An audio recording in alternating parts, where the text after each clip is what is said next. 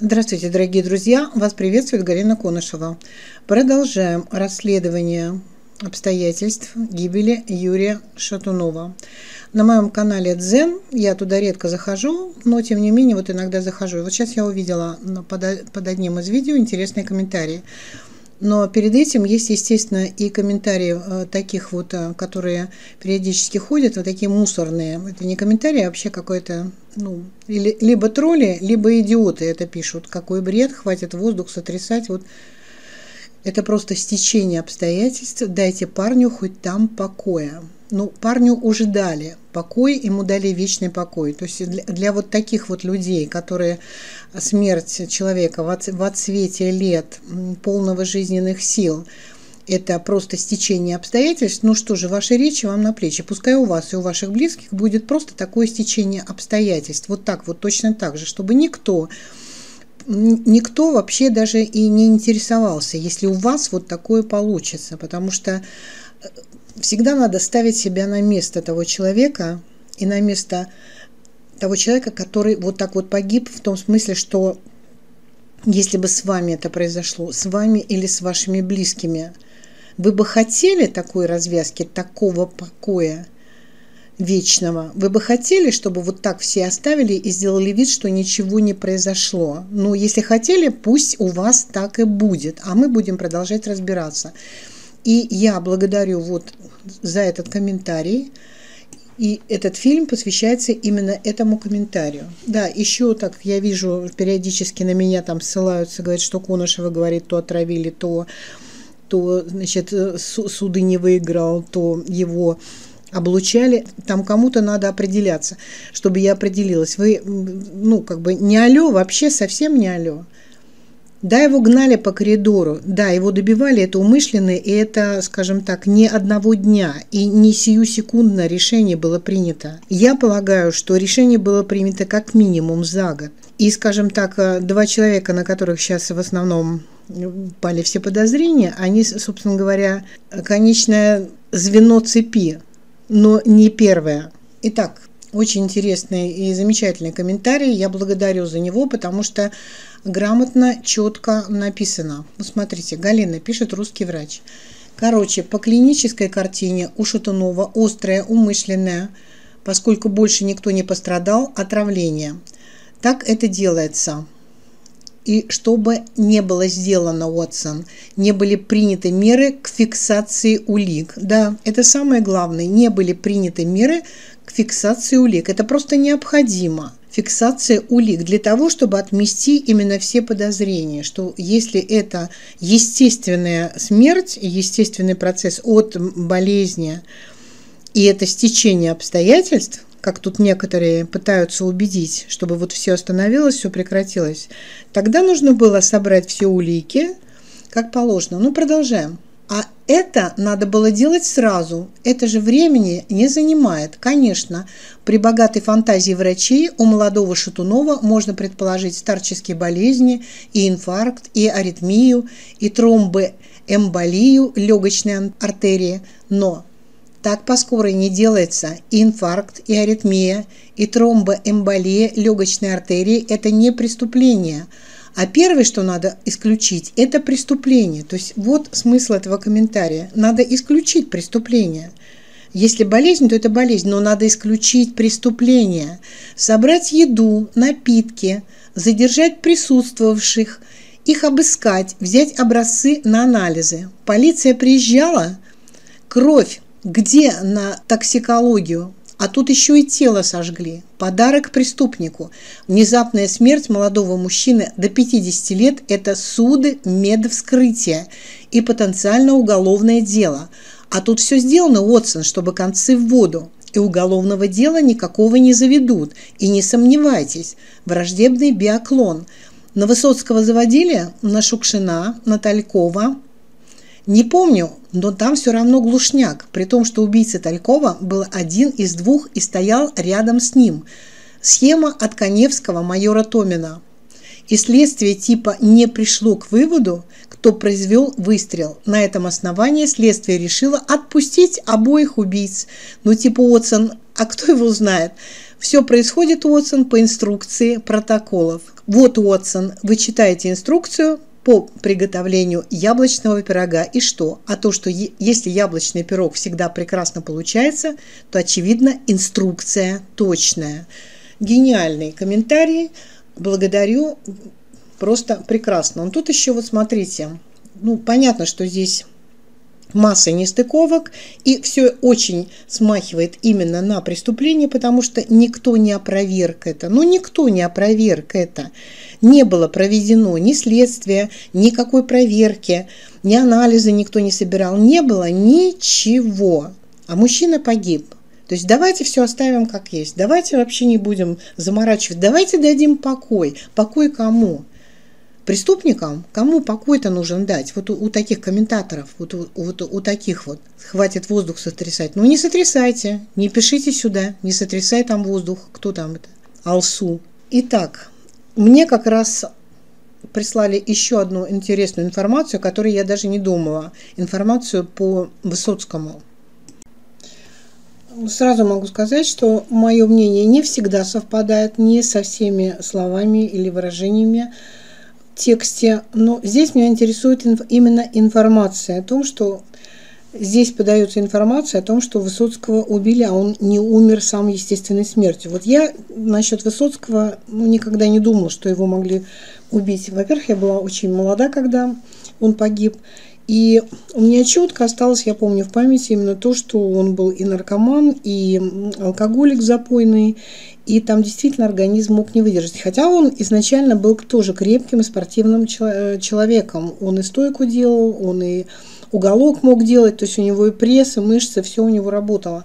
Это говорит о том, что он подго- подготовлен, значит, и сердце у него, и сосуды на тот момент работали хорошо. Тем не менее, он погиб очень рано. Ему, по-моему, 40 лет не было. Вот.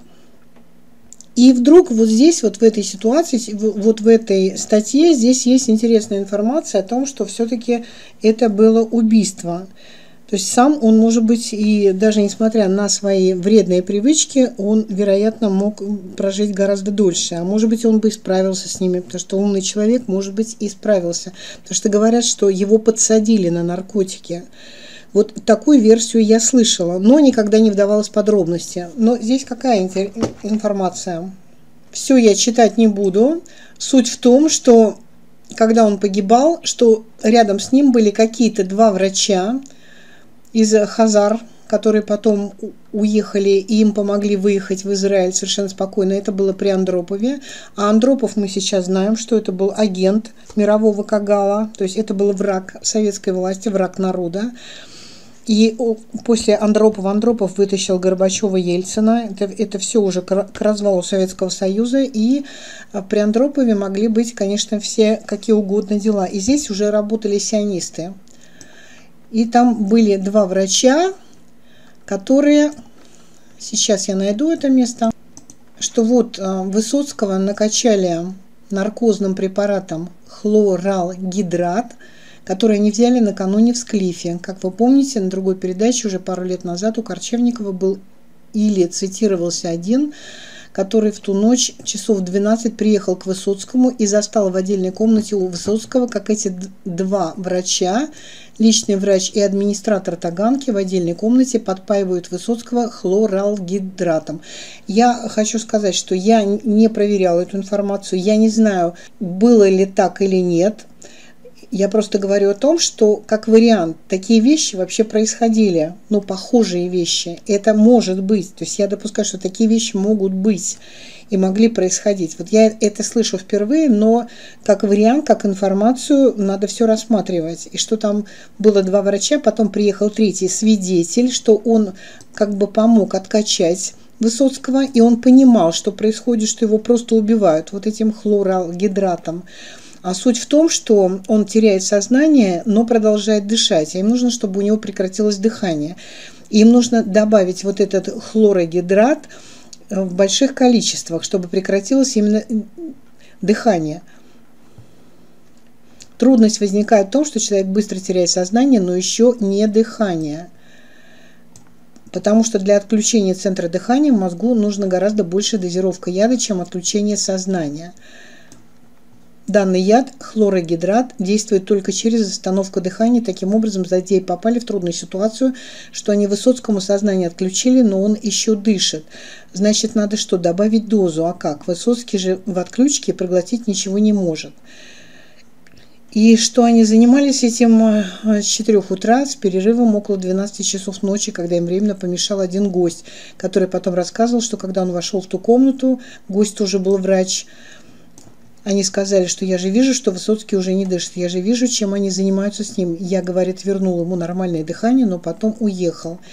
Ну и далее в конце если бы не этот гость, то Высоцкий умер бы еще в 12 часов ночи, а не в 4 утра. И то, что два злодея завернули его в ковер, то есть его еще и завернули в ковер, именно как труп и вынесли незаметно на лоджию, говорит о том, что они еще и думали вообще его вынести из квартиры, сунуть в багажник, а потом сказать, дескать, может, Высоцкий сам уехал куда.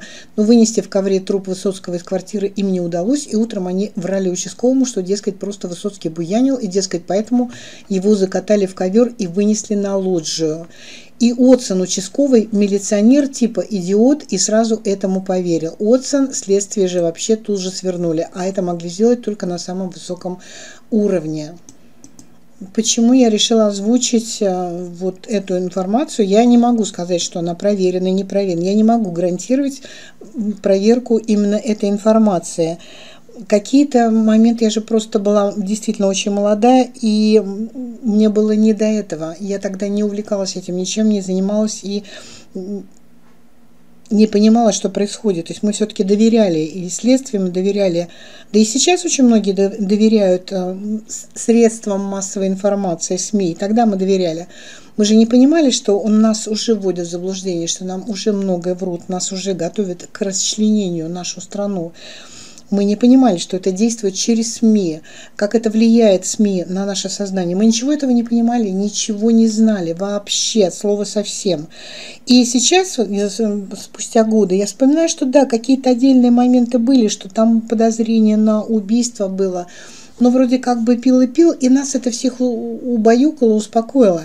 Здесь почему я привела такой пример? Потому что меня такое сложилось впечатление, что организм был у Шатунова настолько сильный, и он сопротивлялся вот этим всем вещам, которые с ним творили, вот на мой взгляд. И и облучением, и подтравливанием, и даже в больнице. То есть вот если был у него гемодиализ, и если врач Востриков действительно его поставил, то есть если бы не врач Востриков, вот здесь перекликается вот этот момент, третий человек, если бы не врач Востриков, он бы умер раньше. А, а так он мог бы его вообще спасти и жить. Но его отстранили от работы, на него все свалили, халатность, и как бы посадили его э, лишили его свободы до 18 сентября, насколько я понимаю. И то, что врач Востриков существует, он есть в интернете, и он именно как кардиолог, он есть в интернете, но, говорят, люди пробовали дозвониться, записаться на прием, ничего не вышло.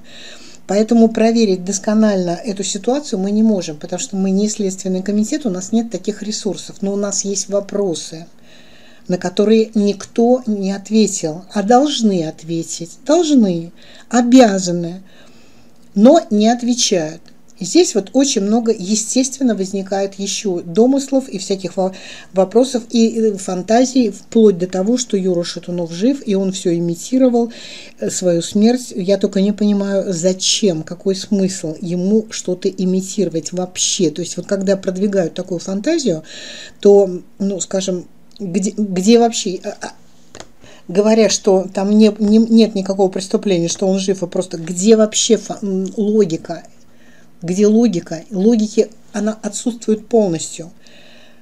И, скорее всего, это увод в сторону именно для того, чтобы не привлекать внимание. То есть вот э, те, которые не хотят, чтобы это было расследовано, они пишут, оставьте в покое, прекратите сотрясать воздух, э, или, кто, или будут сбрасывать, что он э, жив, или там еще что-то, что он все это сымитировал. То есть э, главное, чтобы не привлекать внимание и не исследовать тему преступления. То есть, а ее надо исследовать для того, чтобы опровергнуть, если это действительно что-то естественное, естественные причины, для этого надо убрать и опровергнуть все улики. Но их надо опровергать. Просто так не получится сказать, нет, вы не правы, вы просто воздух сотрясаете, вы там просто бредом занимаетесь. Ничего не получится, потому что погиб человек. И какой человек? Человек, который сказал, что он на светлой стороне.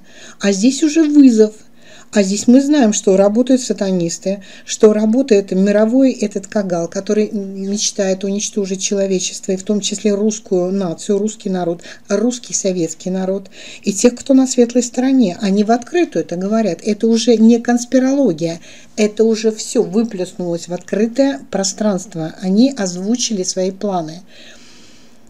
Поэтому просто так это оставлять нельзя, я так полагаю. И я считаю, что тем, кто действительно любил Юру, и тем, кто на светлой стороне, нужно проводить свое расследование и продолжать, не оставлять это дело. И должны, я верю, что должны найтись энтузиасты, молодые люди, может быть, ровесники Юры помоложе, юристы, которые бескорыстные, которые бы взялись за это дело, которые бы заставили Следственный комитет ответить на все эти вопросы и опровергнуть версию преступления. Вот опровергните ее.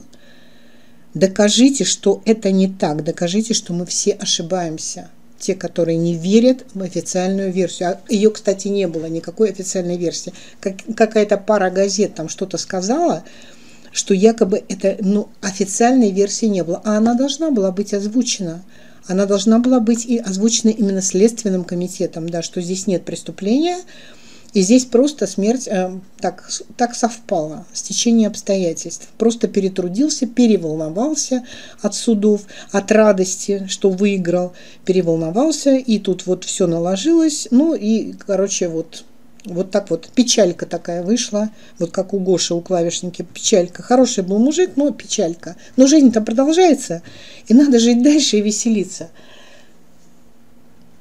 Так что вот такие дела, такие новости, такая информация. Еще раз говорю, что в этой статье я не со всеми словами согласна, не со всеми выражениями я согласна.